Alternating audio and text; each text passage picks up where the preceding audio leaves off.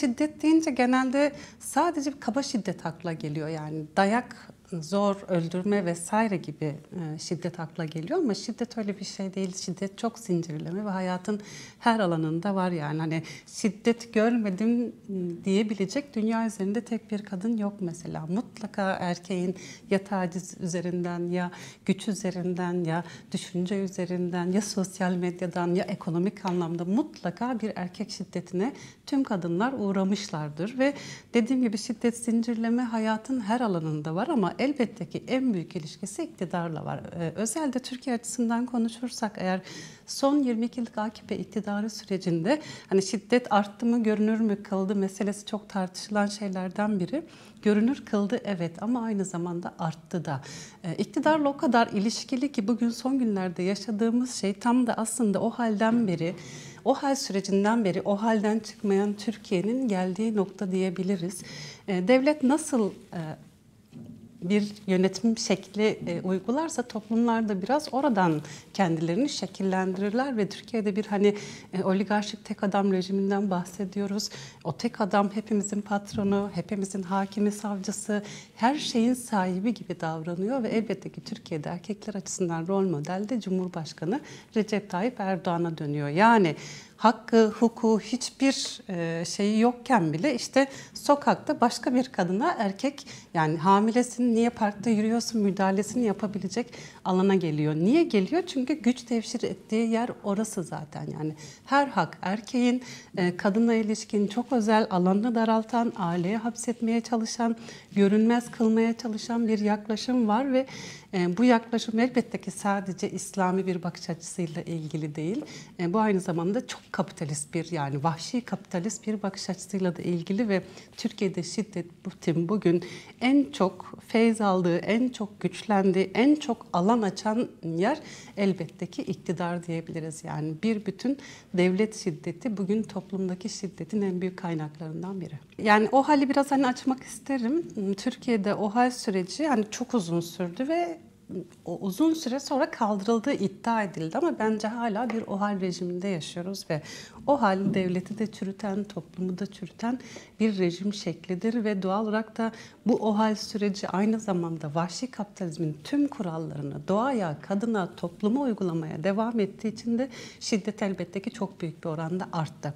Şimdi hani çok fazla o kadar çok haber e, duyuyoruz ki sonra hemen bir diğerini unutup yeni bir haberle karşı karşıya kalıyoruz. Yani dehşet yolsuzluklar, devletin içini boşaltma, ekonominin bu boşalttığı yeri devletin ıı, kendi e, çabasıyla değil toplumdan yeniden alıp kasasını doldurup ve onu bir yerlere peşkeş çekme hali öyle bir noktaya geldi ki toplumun bahçesindeki ağacı bile e, hiç topluma sormadan kesebileceğini zanneden bir yere geldi. Mesela siz de haberini yaptınız. Antakya'da yol geçecek diye e, bir kadının zeytin bahçesine girip kesip atıyorlar yani. Haberi yok, kamulaştırma yok, hiçbir şey yok yani. Artık aslında hiçbir kural yok yani. Doğal olarak da bu kuralsızlık içerisinde şöyle bir rejim çıktı ortaya. Düşüneni asla affetmeyen e, ama her türlü ama her türlü adli vakayı e, tekrar tekrar sokağa salan. Mesela hep birlikte gördük son kadın cinayetlerindeki e, katillerin hepsi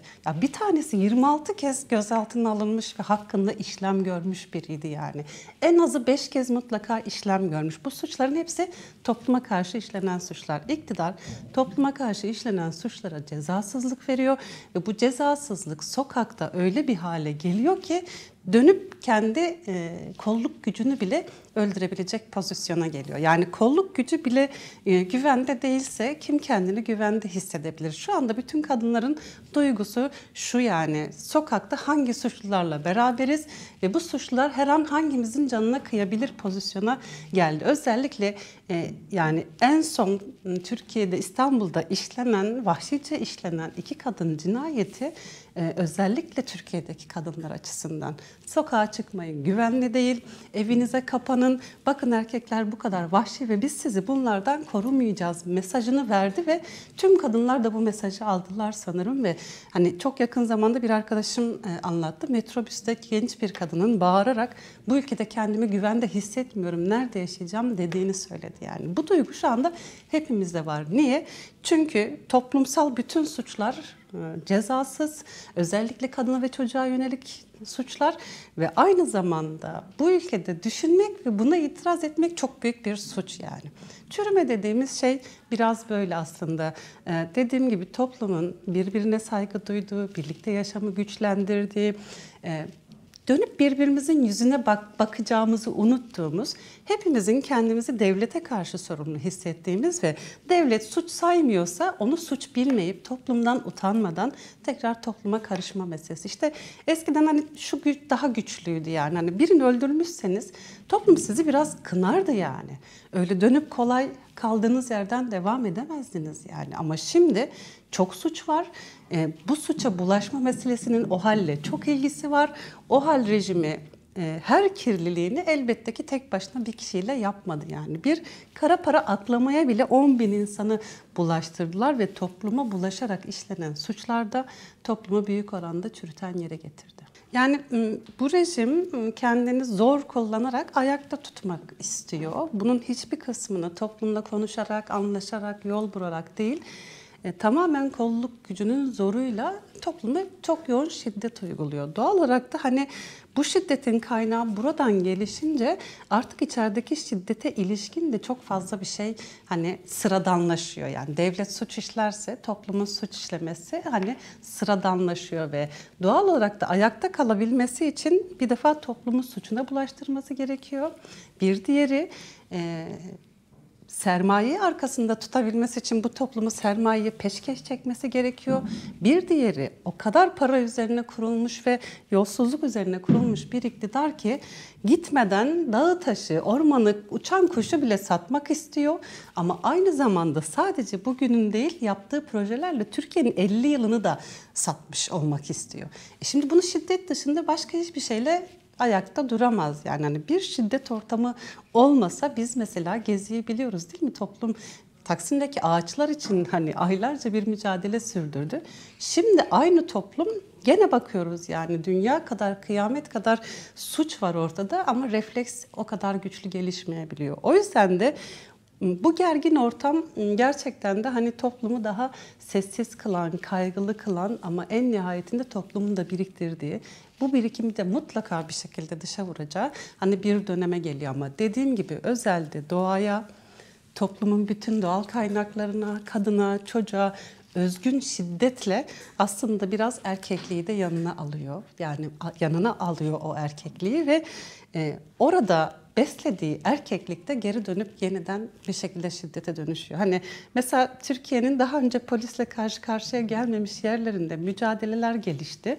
Ve o mücadele eden insanlar karşısında jandarmayı, polisi görünce çok şaşırdılar yani. Çünkü benim diyordu yani ama bir anda karşısına dikildi ve çok haklı mücadelesinde. Demek ki mesele hak olduğu zaman bu gerçekleşiyor kısmında bence Türkiye'nin Türkiye toplumunun zihni açıldı diye düşünüyorum. Yani hani e, benim devletim uğruna ölürüm dediği devlet zeytin ağacına kadar geldi. Onu bile elinden almak istiyor. E peki bunun karşısında durduğunda terörist mücadelesi tırnak içerisinde görüyor.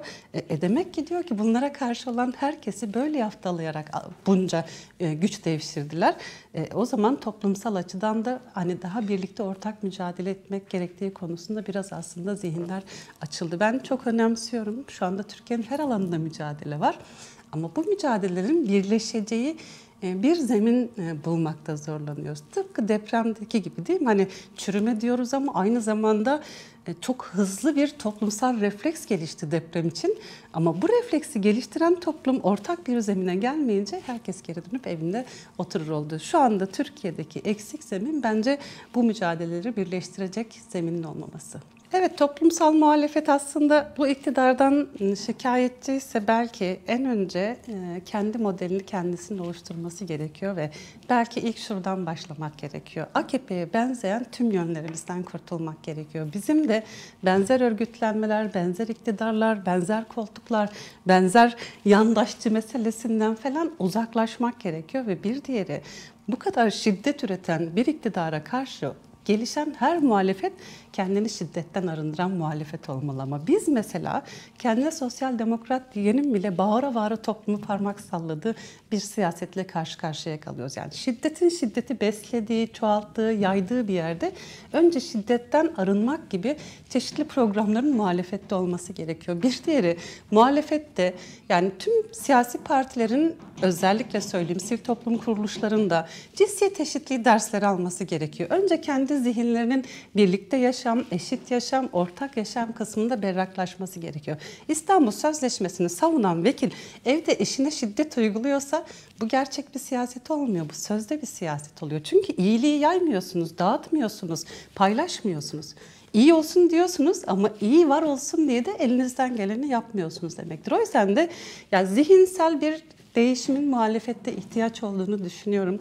Bunun da çeşitli formülleri var. Dediğim gibi birlikte siyaset yapma, eşit temsil, cinsiyet eşitliği dersleri ve siz e, karşınızdaki kadının da kendiniz kadar e, bu yaşamı yaşamaya geldiğini kabul etmediğiniz sürece e, onu sanki sizi var etmek üzere atfederseniz, sanki o hep feda etmek üzere bu dünyaya geldi gibi görürseniz sizin gerçekçi bir kadına yönelik şiddetle mücadeleniz olamaz. Yani hani ben bugün mecliste muhalefette olan çok sayıda vekilin de ne kadar erkek kürsü kullandığını, şiddeti o kürsülerden yaydığını, toplumun hani birlikte yaşam kültürüne hizmet eden dilin ne kadar az olduğunu bir gazeteci olarak çok kez görüyorum. O yüzden de dediğim gibi e, AK Parti'ye kadınları korumuyorsunuz diyenlerin e, daha güçlü mücadeleyi vermiş olması gerekiyor ki ona atfetmesi gerekiyor. Ya da kendi içinde öyle bir model oluşturması gerekiyor ki karşı tarafı o modele çağırması gerekiyor. Ama bizim muhalefet modellerimiz çok fazla yok. Maalesef ki DEM Parti dışında eşit temsil yok yani. E, doğal olarak da dediğim gibi daha gerçekçi, daha hayatın içinden daha karşılığı olan bir e, mücadele vermek gerekiyor. Mücadele kürsüde, bir pankartın arkasında resim çekilerek işte kadınlar eylem yaptığında yanında duruyoruz diyerek hani bunu küçümsediğim bir şey söylemiyorum. Maalesef gerçekleşmiyor yani. Ben son e, işlenen iki kadın arkadaşın cinayetinde mesela bu hayatın durması ve bundan sonra başka hiçbir şeyin konuşulmaması gerektiğini düşünüyorum. Çünkü işitleşen bir erkeklik gördük biz yani kafa kesiyor bu erkekler. Bu aşamaya geldiler yani. O zaman buna karşı da gerçekten hayatı durdurmuyorsanız e, böyle akmasına da izin vermeyecek bir mücadele geliştirmek gerçekten de gerekiyor ve e, toplumumuza e, yani en büyük çağrım şudur yani bu işlerden böyle baş edilir bence. Yani hepimiz AKP'ye benzeyen yönlerimizden arınalım. Bir, iki biz kadınlar açısından da erkeklerden öğrendiğimiz çokça şey var. Bazı benzer yöntemleri kullanabiliyoruz. Biz kadınların da erkekten öğrendiğimiz tüm meselelerden vazgeçip kendi yol ve yöntemlerimizi kurmamız lazım.